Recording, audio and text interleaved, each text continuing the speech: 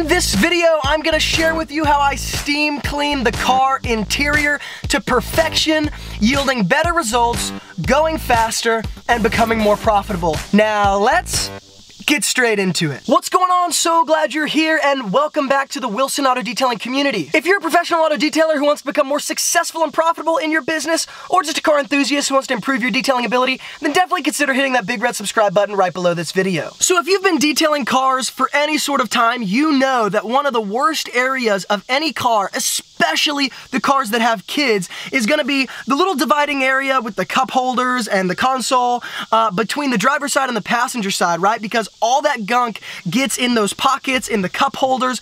Uh, people spill their drinks, crumbs, all that sort of stuff. So how do I clean this area quickly, yielding great results, and becoming very efficient and profitable? Well, let me show you. So this is actually not the worst that I've ever seen, but check it out. You kind of get the gist of what I'm saying here, right? Right here in this dividing area, and just check out the cup holders. You can see, check out all those crumbs that get shoved in just like the creases of the cup holders, all that stuff. This part actually can be removed. That's gonna help me clean in between there. But check it out. We've got crumbs all inside right here, inside the leather. We've got crumbs and all this stuff shoved up in these creases and these spaces. Once again, I can actually remove these pieces. Makes it a little bit easier to clean. They've got little tabs that I can pull up just like this and take that out so that I can clean a little bit better. But guess what, guys? This area of cars, when you have kids, is normally like the big trash black hole. So as a professional detailer, I'm always looking for more quick ways that I can actually attack things, yielding great results at the same time. So in this scenario, I'm gonna be using my VX5000 Steam Cleaner, which if you've been following my channel, you know I absolutely love it. It's amazing. It's probably the best tool I have, like the best investment I ever made. And it's right here, okay? I love this steamer. It's amazing. I can't get enough of it. So the reason this tool is so awesome in a scenario like this is because the steam heats up to such a degree that it really just melts away any dirt, any sticky stuff, any crumbs, all that. But it also has a really high kind of PSI, and so it's gonna blow anything out of the crevices that I'm working in right now. And that combination of things is gonna be perfect with what I'm working on right this second because I'm dealing with tight spaces where something like a toothbrush may not really fit. It's not really angled correctly to get this kind of job done. So let me show you guys. I'm actually not going to use any sort of cleaner whatsoever to attack this. Let me show you guys how I get this done with no cleaner, no brush, just the steamer and a microfiber towel. So though you guys can't see directly inside the cup holder as I do this, you understand the point. All I'm to do is blast this steam. It shoots out a very,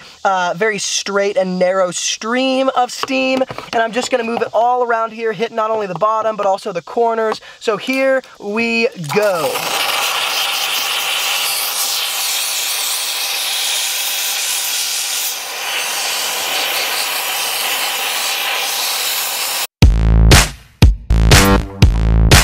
So check it out, guys. You can see this is with no chemical, right? So you can see there's still like a little ring right there where I would have to use like some all-purpose cleaner just to kind of agitate that a little bit with some cleaner uh, where like the drink gets set, set down, you know, and it creates that ring effect. But look, there's no crumbs or anything left in here in the, in the creases or anything. So now that I've done that, I can spray some all-purpose cleaner, agitate it with a toothbrush, with a makeup brush, whatever, and I can have a totally clean thing. So that literally took me maybe eight, seven or eight seconds. And those are the kind of results I'm getting. So I, am cleaning and I'm blasting all those crumbs out at the same time. Now, I want to do the same exact thing with this area right here because there's a ton of crumbs. There's a ton of uh, just like, you know, gooey stuff and all that stuff in the creases here. So I'm just going to take my steamer and blast it in. I'm actually going to hold my camera right here as I do it. So it might be a little shaky, so just bear with me.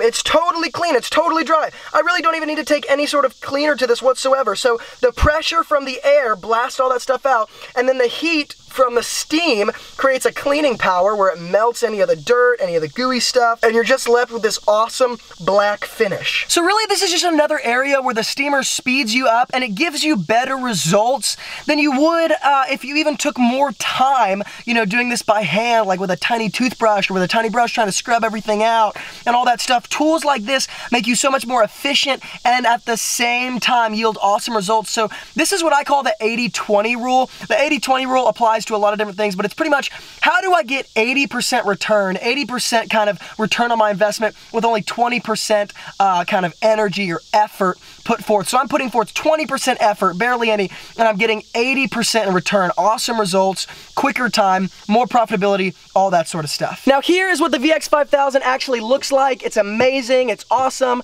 totally commercial grade, industrial grade. If you'd like to get your hands on a VX5000 steamer, I'm gonna hook up some Amazon links in the description box below. You can definitely use those links, they'll take you right to the steamer. I'm also gonna hook up some other steamers that are a little bit less expensive. If you guys wanna invest in a steamer, I'm gonna give you guys some options, some, some of the ones that I really recommend that aren't quite as much of an investment as this one is.